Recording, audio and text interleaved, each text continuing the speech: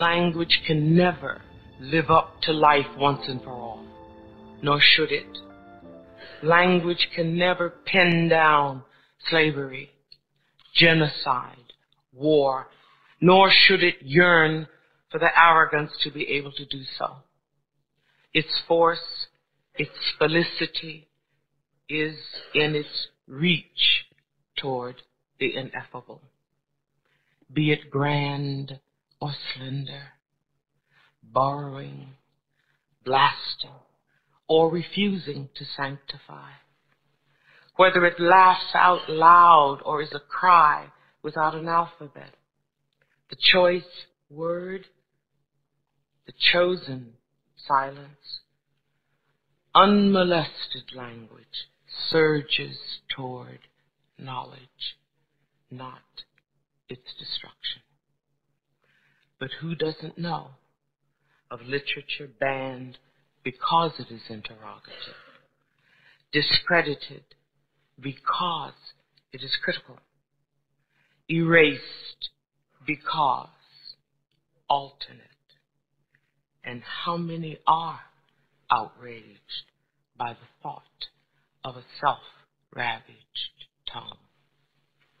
Word work is sublime, she thinks, because it's generative.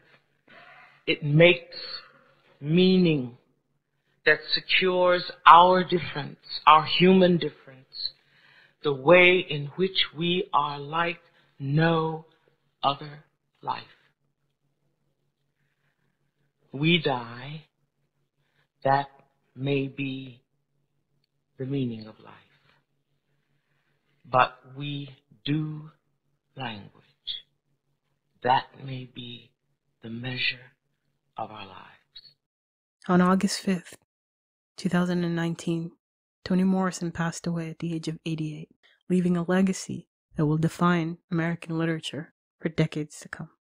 In an article published in The Guardian, writer Ben Okri commemorated Morrison's life with these words she was a literary warrior in whose work the U.S. peered into the black mirror of its untold truths. But our work spoke to people everywhere, to their traumas and their joys, in a language in which inspiration was at home.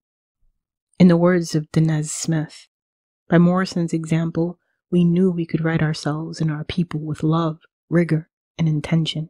We knew that to be asked to bend our writing toward the comfort of some imagined white reader was a distraction for the good and necessary work of achieving and dreaming up our people. We knew that the best writers don't just clear space for their own name, but make their abundance the wealth of many. Morrison did the thing. She lived a mighty life. She was loved and asked us to love harder. She wrote and we'll be trying to catch up with her forever. Morrison is the foundation. I'm wrecked to see her go.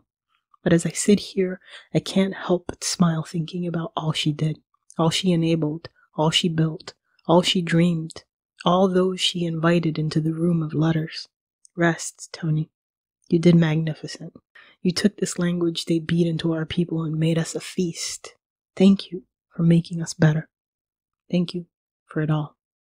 Today, February 18th, 2021, on what would have been Toni Morrison's 90th birthday, I think of this particular speech.